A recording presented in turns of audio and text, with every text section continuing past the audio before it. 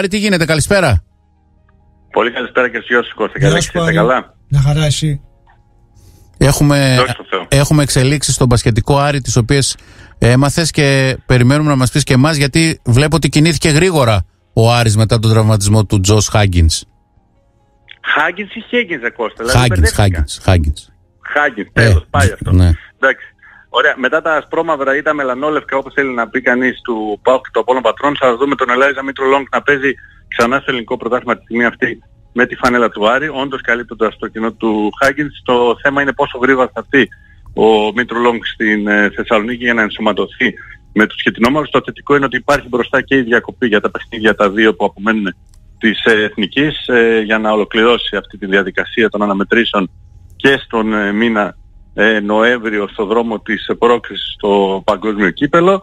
Ε, α, είναι κάτι το οποίο επιβεβαιώνεται φυσικά και δίνεται από ξεκάθαρα εδώ και μερικά λεπτά ως ε, πληροφορία και ως ενημέρωση Παύλα ως είδηση από πλευράς ε, της ε, ΚΑΕΑΡης ε, σε μια ε, ενίσχυση του ρόστερ που και μάλιστα νομίζω ότι αξίζει εύσημα η άμεση αντίδραση και από πλευράς του Γιάννη Καστρίτη έτσι ώστε να βρει έναν αντικαταστάτη ε, για έναν παίκτη ο οποίος του έδινε και σκορ αλλά και ε, assist, δηλαδή και σκορ από δι- τα δικά του χέρια αλλά και από τα χέρια των, ε, των υπολείπων. Νομίζω ότι ο Λόγκ δεν θα δυσκολευτεί ε, ε, να προσαρμοστεί στην ε, λογική του Άρη της Θεσσαλονίκης από το πέρασμα του στον ΠΑΟ αλλά και από το πέρασμα του στο ελληνικό, από το ελληνικό πρωτάθλημα όντας σε δύο διαφορετικές ομάδες. Είναι ένα παιδί το οποίο ξέρει το ελληνικό πρωτάθλημα. Έτσι, αυτό είναι το Μμμ. μόνο σίγουρο. Ε, έχει την εμπειρία.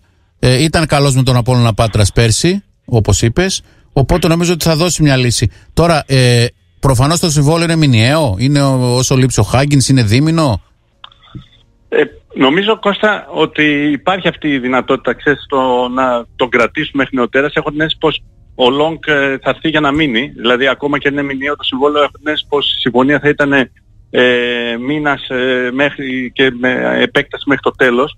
Γιατί ε, θε- πρέπει να αποδειχθεί και πόσο βαριά ή όχι είναι η κατάσταση του Χάγκινς και πότε θα μπορέσει και με την εικόνα στις προπονήσεις να επιστρέψει κανονικά στη διάθεση ε, του Καστρίτη και των συνεργατών του για να μπορέσει να έχει μια εικόνα ανάλογη με αυτή που είχε στο ξεκίνημα της αγωνιστικής περίοδου συμβάλλοντας στα μέγιστα και από την δική του πλευρά ώστε ο Άρης να κάνει αυτές τις νίκες τις οποίες έχει κάνει μέχρι στιγμής και ειδικότερα αυτή και επί του Παναγικού αλλά και επί της ΑΕΚ ε, εντός και εκτός έδρας που σίγουρα κάνουν τη διαφορά ώστε ο Άρης ε, να μπορεί να έχει βλέψεις ε, για το κάτι παραπάνω στην διάρκεια της φετινής αγωνιστικής περίοδου δηλαδή στο να πλασαριστεί σίγουρα στα play-off και να μην αρκεστεί στο να μείνει στο 8. Μάλιστα.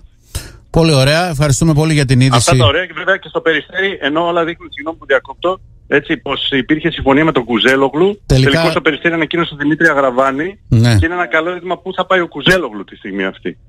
Γιατί οι πληροφορίες μου λέγανε ότι υπάρχει συμφωνία του περιστερίου με τον Κουζέλογλου, ε, τελικώς ο Αγραβάνης αφού έμεινε ελεύθερος από την Νάπολη ε, έκανε πράξη ένα δικό του θέλω γιατί εδώ και κανένα μήνα, ίσως και πριν συμφωνήσει με την Νάπολη, ε, η αλήθεια είναι ότι το πάλευε πάρα πολύ στο να επιστρέψει στο ελληνικό πρωτάθλημα έχοντας σημαδέψει ε, την ομάδα του Βασίλης Σπανούλη το Περιστέρι με τον οποίο είχε αποτελέσει συμπαίκτης αλλά είναι διαφορετικό να είσαι συμπαίκτης με τον Σπανούλη ε, και διαφορετικό να είσαι υπό τις οδηγίες του ε, και αυτό θα το δούμε και στην ε, πράξη τώρα. Ε, σίγουρα, σίγουρα.